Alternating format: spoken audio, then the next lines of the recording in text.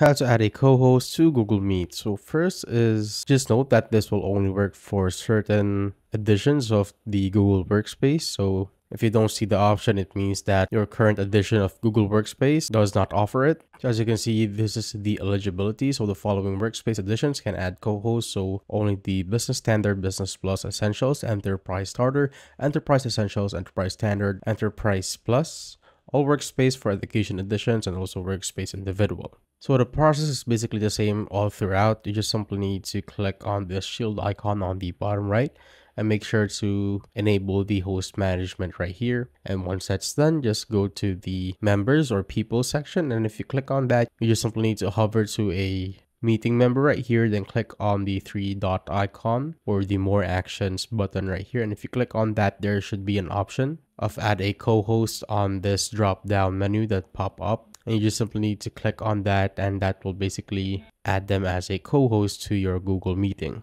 And that is how I basically add a co-host to Google Meet.